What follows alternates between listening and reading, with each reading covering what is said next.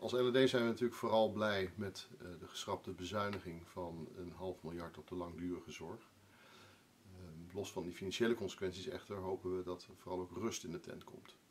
In de zorg is de afgelopen tijd veel veranderd. En dan denken we bijvoorbeeld aan de integrale bekostiging in de ziekenhuizen, maar ook in de transities in de jeugdzorg. En ook voor de vertrouwensarts is er veel veranderd met de komst van de Veilig Thuismeldpunten. Al die veranderingen betekenen namelijk nogal veel voor artsen. Uh, hun, instellingen is veranderd met uh, al deze transities. We denken aan de rol uh, van artsen in relatie tot verzekeraars, maar ook met gemeenten. We vinden het als LED heel erg belangrijk dat de arts in de lead blijft in de zorg. Dus meedenkt over strategische beslissingen en over kwaliteit van zorg. En daarom roepen we dit kabinet dan ook op om dit ook inderdaad die rust in de tent te creëren. Dus AUB geen nieuwe voorstellen ten aanzien van stelselveranderingen, geen discussies over verplicht werken in loondienst.